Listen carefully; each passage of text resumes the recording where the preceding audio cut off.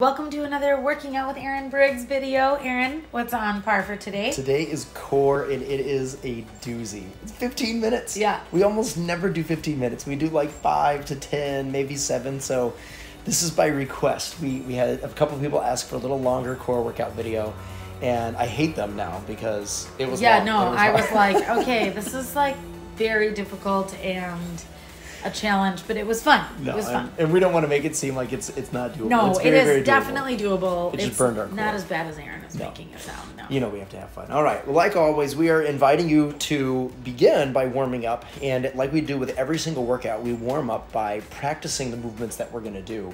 We just don't have an official stopwatch or a timer up there yet because we're really just warming up into it. So our first move is what's called a walkout. I'm kind of doing a little bit of a squat there, but the idea is that you can see us doing it. We're walking our hands forward until we're out into a plank position, maybe even a little bit farther, than we come back. Exercise two is what's called a hand to toe crunch.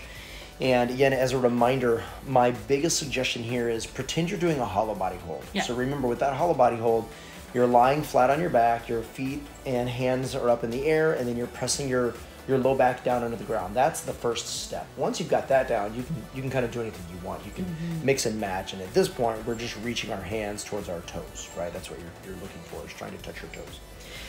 Exercise number three is a reverse crunch, and we're sticking with that hollow body theme. You're gonna find us doing that a lot today. So again, if your hands and feet are off the ground, you're pressing your low back into the ground, right? If you've got that, then you've got your form. Once that's done, you slowly lower your legs down until your feet touch the ground. And you're gonna see I'm not really picky about how we do that. I like doing what's called a bent knee reverse crunch, a bent, a bent knee heel touch here. You can go straight legs if you want. That's much, much more challenging, by the way. Um, you can kind of reach your feet up. You can really have some fun with that one. Exercise four is a side plank, and a little heads up on this one. With every exercise we do today, you're going to go for 60 seconds. On the side plank, you're doing 60 seconds. You're just going to go 30 seconds on each side. And we're getting, we're going to practice that as it really is right now. So again, uh, play around with that. A quick reminder: you'll see Maggie's doing her side planks from her knees and then on her forearm, while while I am on the sides of my feet and my forearm. That's just two ways to do it. There's lots of variations out there. Again, we want you to explore what's right for you. And the idea with any plank typically is you're just trying to prevent motion. You're just standing Yeah. up, you know, kind of holding yourself tight and really resisting, you know, twisting or leaning one way or another. So again, you're off to a good start here. We're almost done. Our last exercise, as we transition into it, is going to go back to that hollow body position. So if you're ready, go ahead and join us. Right, you've warmed up with four of the moves so far. Our fifth movement is a hollow body hold. If you can stay out of each other's way, like us. All right. So again, hands and feet up. Lots of different angles here. Oh Remember, yeah, I forgot I wasn't doing Yeah. side. low back pressed into the ground. And if it's too tough to have your legs be straight, totally bend those knees mm-hmm. or point your feet higher up towards the ceiling rather than out. That's always okay. Okay. And again, this particular move is split into two. So it's 30 seconds of a hollow body hold, key emphasis on the word hold, and then 30 seconds of a flutter where you're maintaining that hollow body position and then you're giving those feet just a tiny little kick as if you're in the pool working on your swim stuff. Okay, so this was our warm up. This took, I don't know, three, three and a half minutes. Okay, once we're done with this, we're gonna take about a 30 second breather. At that point, now that you know what's coming, right, you know all the moves, you're gonna get the chance to go, you know, get a mat, get a drink of water, kind of get what you need. So 30 seconds starting now. And again, if you need more time, just pause the video. We'll be here when you come back. Get what you need. And I always like to recommend with people, anytime we're on our hands, just to do a little wrist stretch. And you can see us doing that right now. I will kind of put my palms flat, lean over them. I might go side to side. Sometimes I go on the backs of my hands. And again, if you have tight wrists, if you've got anything, feel free to warm them up a little bit more. Okay, we're gonna go in two, one. Let's begin again with walkouts. Now, again, the whole roadmap for today, you've got five movements. Each movement is gonna be done for about a minute, and we're gonna try to go through this twice before we're done. So, again, the clock itself is gonna run for 10, the stopwatch is gonna run for 10 straight minutes. It's gonna be a good challenge. Yeah, this one's gonna wake those core muscles up. Yeah, And- ten straight minutes of core is awesome. Yeah. now, oftentimes when we're doing cardio workouts, you'll we'll do something similar. We'll go for five minutes straight. We'll you know we'll we'll do a round, and we don't have built-in break time and we actually try to do the same thing with core. Sometimes we build in with rest time sometimes we don't. This is one of those times where we're not including it but again that doesn't mean that you can't take breaks. Oh, in yeah. fact if you watch mags and i you're going to see us take breaks several times today and that's the idea is that you don't have to go for 60 straight seconds. You have 60 seconds to get as many good reps in as you can that being said, you've got two more seconds. One, let's go ahead and transition to those crunches. So, again, on your backside, think that hollow body position, right? Arms and legs up, low back pressing into the ground. Once you've got that, go ahead and reach towards those toes. And the reminder is that it's still just your, your first round, right? So, the idea is you're still getting a feel for the exercise, still making sure that it looks good, that it feels good, and that you're really trying to enjoy what you're doing here. Yeah. Yeah. So continue. Yeah, have fun. Keep keep pressing here. Again, you're looking for a gentle crunch up and down. Keep it smooth. You're rocking it. You've got about 20 seconds left. Go at whatever pace and rhythm feels good for you, and make sure to breathe. I know, Mags. We I we tell people to smile. We tell people to laugh, and some of that is fun because that's just our personality, right? We like to be a little upbeat. We like to be a little positive, but I've, I remember reading some research that talked about if you can smile, then your body relaxes a little bit. Three, two, one. Let's go ahead and try that reverse crunch now. And there's Yeah, doesn't it like release endorphins too or something? well, I'm sure it does. Yeah, I, there, there's probably something in there I about don't that. like quote me on that, but I feel like I've heard that before. Mm-hmm.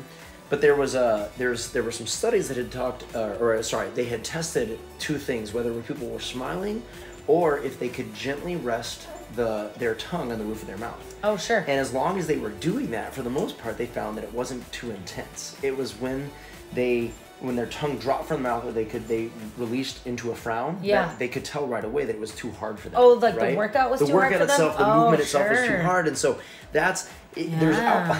out, like Maggie's always said. There's always a reason behind what I say. Yes, there do. There's usually something that I've read or I've gone to. So. I always like to keep in mind I'm reading studies and research all the time, and there's usually something in there that I'm saying, all right, this is why we do what Yeah. we do. Four, three, two, one. Let's go ahead and try those side planks. And again, reminder first round, still getting a feel for it. Play around with it. This should feel good. And if it Yeah. feels painful, if it hurts, oh my gosh, change it up. Try something different. And I always, people give me the joke, they're like, this never feels good because it's challenging. Haha, yes, I get it. That's totally fine. You know what we mean. On that end, if it really, if you hate this, it's also a good sign to change it up, right? Yeah. If you're just These core workouts are not for everybody. Right. Three, two, one. Let's change sides. Realize this is just one way that we're getting there. Yeah, We yeah. tend to choose exercises that people can do that aren't too. I, I'm using quotes here. Sexy. It's stuff that that most people can do, and it's very effective. Right. Yeah. You're going to feel changes here. You're going Absolutely. to notice changes from doing this. So again. Keep in mind that it should be. I use the word enjoyable also with quotes, not like it's Yeah, you know, because you're your kind of going like, oh, Right. okay, I'm ready for the minute to be done. Four, three, two, one. Let's try our hollow body hold. Now, one interesting little bit you guys are doing great, by the research way. that I love to tell people is there was it was it was a specific study that had been done, and it was about strength. And so they, you know, let's say there was 50 people in the, in the study, and 48 of them got stronger, right? Two of them actually got weaker. They regressed, and they did the exact same program. And what I always love to tell people is when you're looking at studies and averages, you have to take that into account, right? Yeah. And I can say, hey, and by the way, three, two, one, let's try that flutter.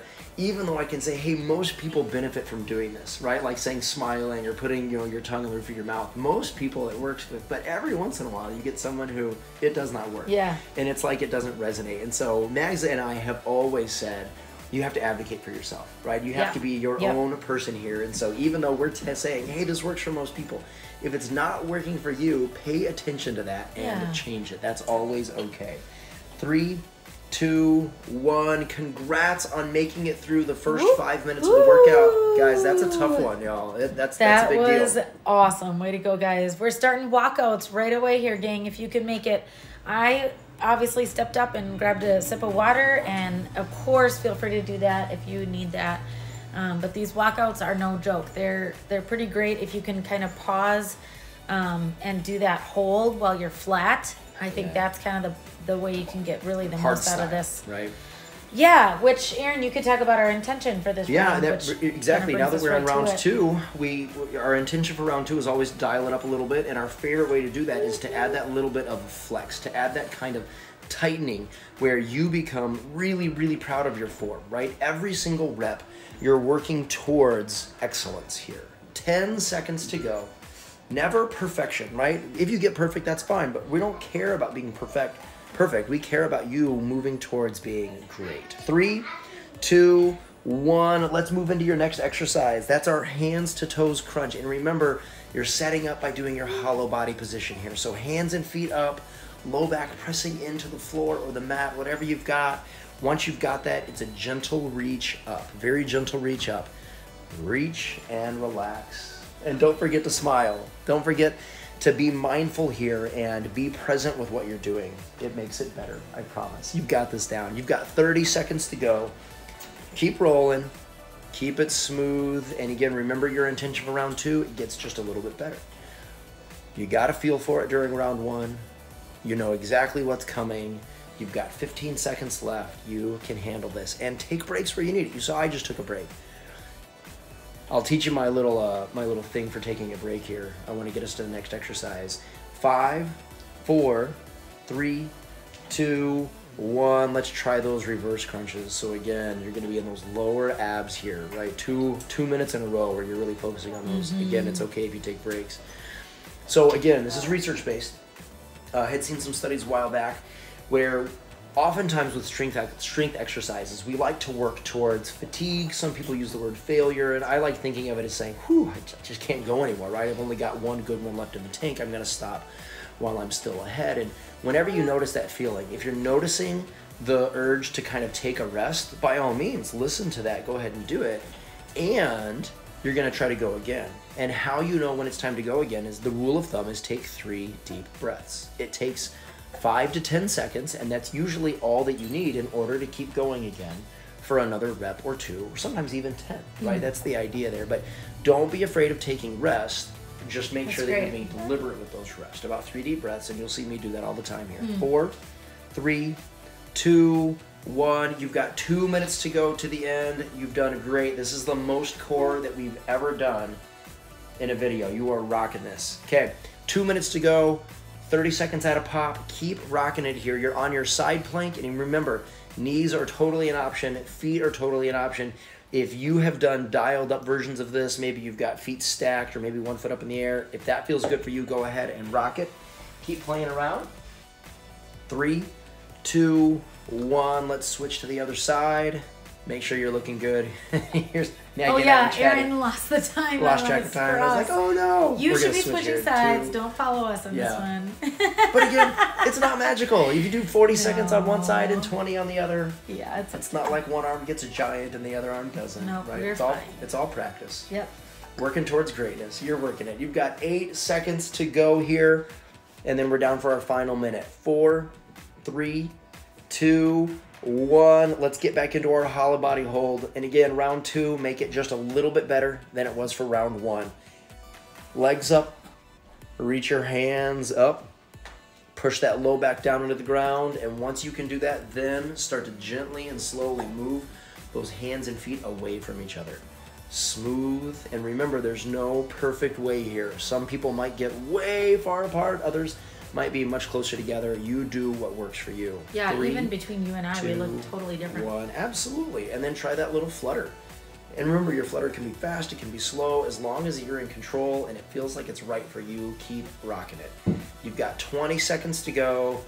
And then, as a little heads up, we're going to institute just a little tiny stretch here in about 15 seconds to get our breath. So, realize something's coming. You've got 10 seconds. Keep You've going, done so keep going. good. Ten seconds. No, now, not even ten. Five. There you go. Four, three, two, one. Fantastic. Woo. Take a breath or three if you want. When you're ready, go ahead and join us in that down dog position for a brief little stretch. You rocked it. Okay, now remember, 10 minutes rolling exercise time. That's the most core we've ever done, potentially the most core we'll ever do. 10 minutes is a lot. I hope you felt it in a good way. And again, if you're counting the warm up time, which we do, this is almost exactly a 15 minute workout. So thanks for joining us. That was really fun today. Yeah, thanks everybody. If you've been around for a while, you know that we have videos, all different lengths 5, 10, 15, 20, 25 minute lengths. We recommend that you move around for about 25 minutes a day. So if you're looking for some more ways to move with us, I will link to some more videos. And we hope you subscribe to our channel, tell other people that you think would just love moving around with us, and make it a great day.